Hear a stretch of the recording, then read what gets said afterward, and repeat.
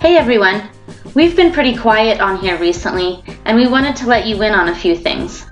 We're making some big changes this summer, personally and professionally, and will soon be in a place to devote more time and have more options for projects of ours and observations on this channel. Basically, we might be kind of going off the grid. We'll discuss that more in the near future, but in the meantime, we want to again summarize some of the various observations we've made over the years that demonstrate the effect of light refraction across horizontal surfaces. We started these observations on some acreage we own in the Colorado mountains, and we also went to local tennis courts. We chose a spot on our land where water collects during a heavy rain and forms a very small pond. We did this in order to find the most level point to conduct these observations. We placed the camera on one end of where the small pond forms and arranged the objects on the opposite end. The surface itself was not perfectly smooth and there was some undulation, but the objects could be seen in full when the atmosphere would allow it, like it did on this evening. As you can see here, the full light from the distant objects was able to reach the viewer. We were at a viewing height of around 1 and 1 fourth of an inch, and the objects were no more than 150 feet away. However, most days the light from the objects was not able to reach the viewer in full. As you can see here, the very bottom of the objects are hidden from view. We had to raise the viewing height of the camera in order to see the objects in full. These observations took place during the late fall, early winter. The temperature during these tests were no more than 50 degrees Fahrenheit, with many observations taking place in much cooler weather of 30 degrees and less. So even in conditions without much heat or humidity, this upward refraction effect still occurs. Some days the sinking effect would be more drastic than others. Different days and various conditions brought slightly different results, but the light from the bottom of the objects was often unable to arrive to the viewer.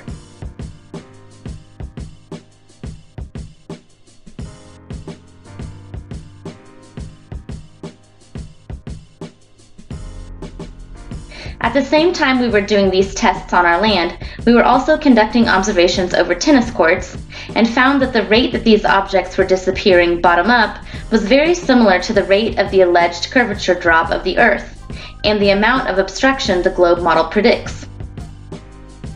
These observations also took place in cool weather of no more than 50 degrees, with the majority occurring in much cooler temperatures.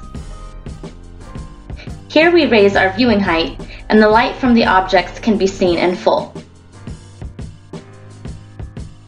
Next, we decided to make these same observations across small bodies of water. We made sure that curvature could not be claimed as the cause of obstruction in these observations by conducting them at a distance of 600 feet and less. At 600 feet on a sphere of our given dimensions, there would only be about one-tenth of an inch of curvature drop, and the horizon would be over 2,200 feet away from our viewing height.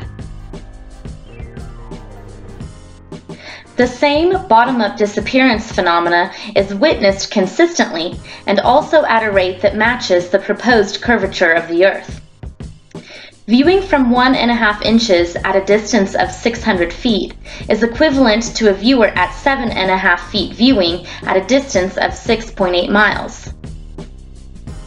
At 6.8 miles, the globe model predicts 8 feet of obstruction, which would be just over one and a half inches to scale and day after day we would witness one and a half inches or more of apparent obstruction due to, again, upward light refraction.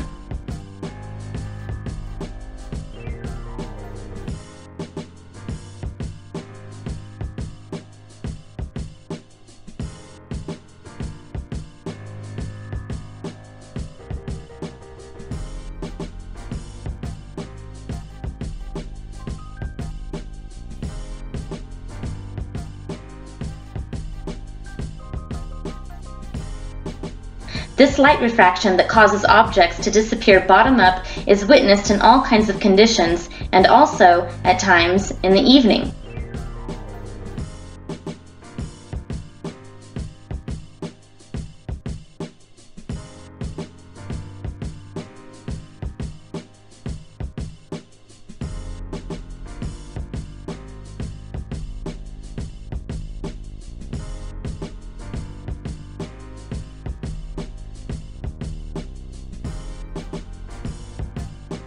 Or over ice.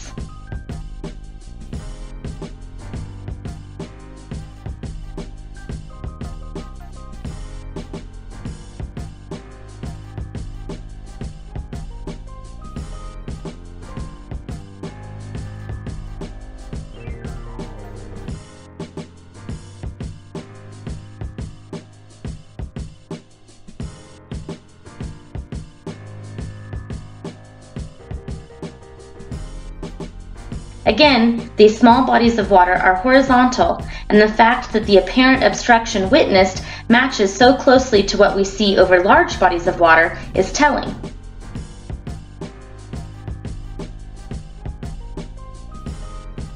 We've also made at-home observations on our living room floor.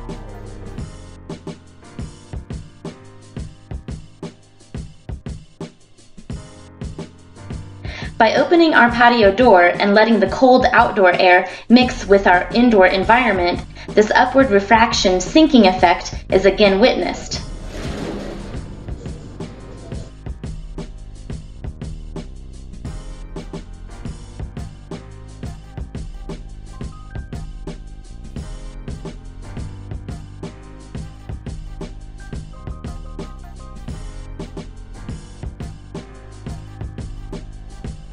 We lift our viewing height and the light from the distant objects arrives in full.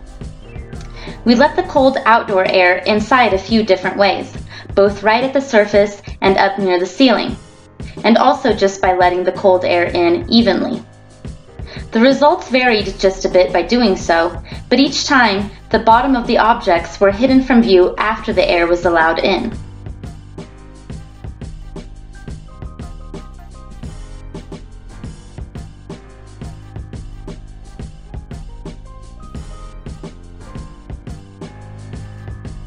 And the full light from the objects would then arrive to the viewer when the door was shut and the air in the room evened back out.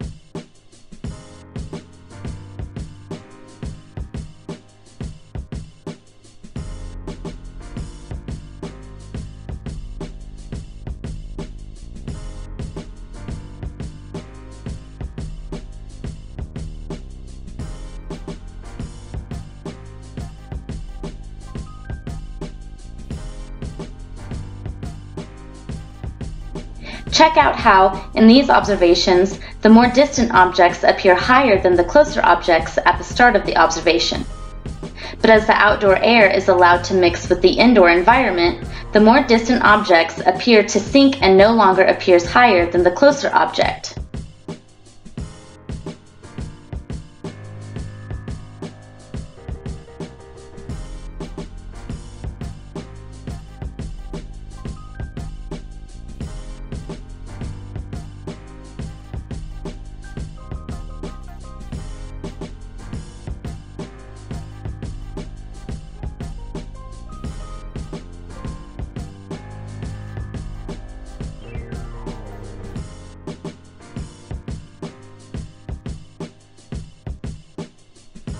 These observations demonstrate how upward refraction creates apparent obstruction across surfaces where no actual obstruction is present.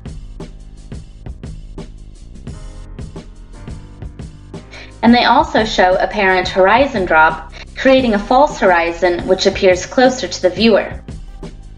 Could these atmospheric effects that are witnessed consistently across these various horizontal surfaces, both land and aquatic, be the same phenomena that is occurring when there appears to be curvature on a large scale? That's the question that interests us so much. Thanks for watching. We'll see you soon.